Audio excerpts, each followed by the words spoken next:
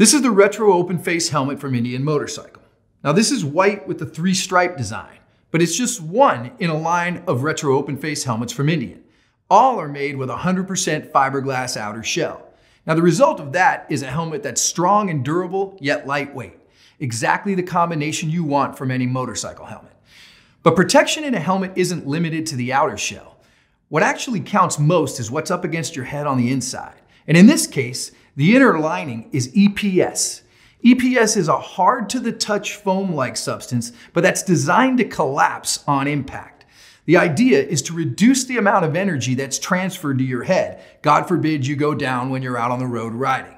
Now, one thing I really like about this helmet is its inner lining. It features a diamond quilted microsuede that's super soft and comfortable, gives the helmet a really premium high end feel. But in addition, the helmet offers a lot of standard features you've come to expect from any motorcycle helmet. Things like detachable cheek pads. It's got this detachable mini visor, a sun peak as Indian calls it, but really cool retro touch to the helmet. It's also got D-ring functionality on the strap, and it's also Bluetooth compatible. Now, as I said before, this is the white with three stripe design, but they also come in solid colors, including gloss black, matte black, silver, and red. There's also a two-tone silver and black, and for those patriotic folks, there's a red, white, and blue.